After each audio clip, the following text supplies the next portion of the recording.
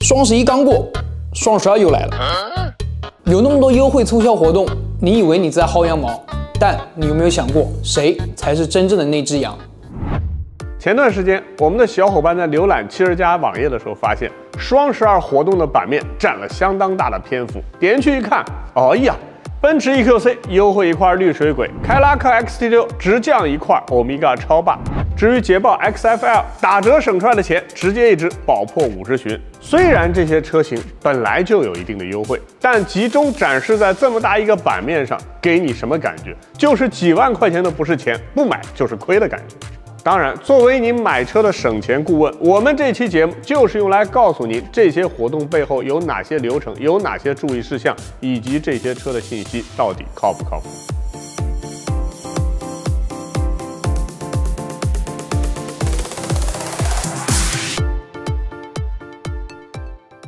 我们选择了两台非常有意思的车，一个是第十一代思域，还有一台优惠高达七万块钱的奔驰 A 级。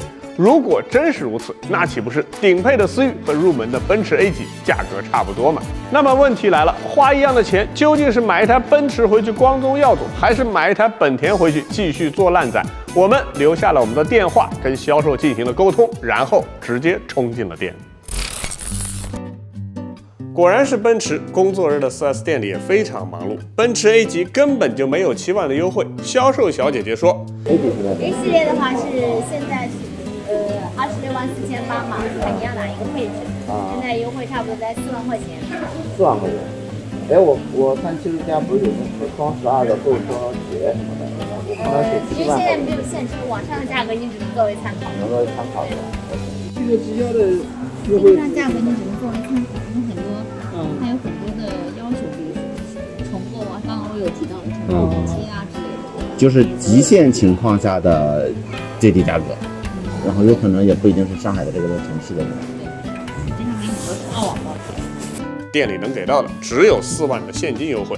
不过由于奔驰服务公约的要求，购车不收取服务费，不强制要求选装包，保险你想自己上也没问题。算下来，顶配的 A 级落地要二十五万四千八百块钱。相比起来，东风本田的 4S 店就冷清多了。思域居然有两代车型，三个年代款在售。销售说，呃，十代的、十一代的，还有中间还有个两厢的啊，二一款的，一九二一和二二都在卖。对，就三世同堂。这个车子基本上有看具体配置，有小幅、很小、很小、很小的优惠。优惠，这个优惠稍微比它多多多多多那么一丢丢啊。并且汽车之家双十二的一百元抵用券可以叠加，不过四千块钱的服务费是不是有点贵呀？总的来说，顶配的十一代思域落地要十八万七千七百块钱。喂，老任，两台车加一起一共四十四万多，你把钱转给我吧。当然，两台车落地四十多万，要每期节目都把车买回来做的话，这节目咱真心做不起。不过车是可以租的嘛，两台车租回来就两顿饭钱，这没问题。来说一下两台车在店里的实际优惠情况吧。思域真的是个奇葩，在店里你可以找到一九款、二一款，这都是第十代车型，还有最新上市的二二款，就是我身后这台十一代版本。三个车型都没有任何优惠的情况下，我个人还是强烈建议你选新款。为什么？新款的外观内饰更漂亮、更精致了，用料也更好了，而且它的车机系统也做了升级，L2 级别辅助驾驶配置覆盖的版本还更多了。整车的隔音滤震真的是比一九款和二一款的十代思域好了很多，差价大嘛，就差三千块钱。这时候买新不买旧，绝对是正确的。当然，如果你是真正的本田烂仔，喜欢时代那个粗犷的造型和更快的加速的话，抓紧时间去看看时代的版本吧，因为到这个月月底，他们都将正式停产，再买就买不到了。至于这台奔驰 A 级，我觉得很多车评人和段子手根本就不了解它的用户究竟想要什么。比如他们会说，奔驰 A 级车根本就不算是一台奔驰，只有买不起 C 级车的人才会去看 A 级车，只有那些要品牌、死要面子、活受罪的人才会去花更少的钱选择这台车型。但事实真的是这样吗？其实这台车有些地方做的还真的让消费者挺心动的。四米六的车长虽然不大，但在视觉上也做出了类似奔驰 C 级一样的修长感。发动机舱里虽然变成了横置前驱的布局，但让这台车也拥有了类似于奔驰 C 级一样的后排乘坐空间。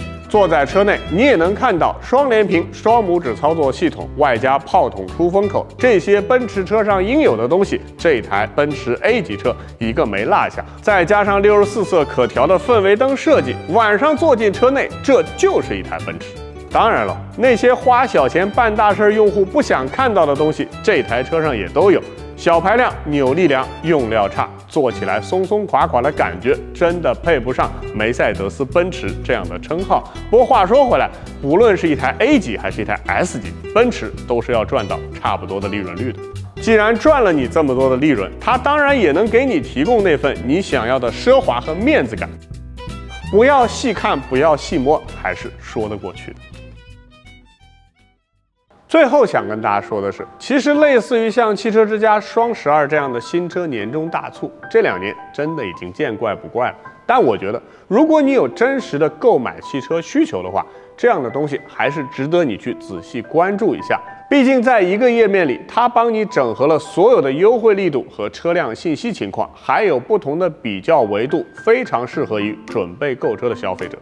不过需要提醒大家的是，任何商业行为都有它的套路，任何店家的优惠都有它设置的地区和条件限制。所以你在被优惠条件吸引的同时，也要看清楚每一个优惠项目背后所对应的约束条件是什么，搞清楚这一点，购车不迷路。至于这两台车的选择，我们同价位购车指南一直坚持一个观点，就是花一样的钱，你自己的那份获得感越高，那么这台车就越值得，越适合你。至于说一台奔驰和一台本田给你带来的品牌虚荣心、精神层面的东西，还是车辆实实在在的性能配置、物理层面的东西，哪个对你重要，它的获得感对你而言就是最大的。好吧，感谢收看本期的同价位购车指南，我是老任，我们下期再见。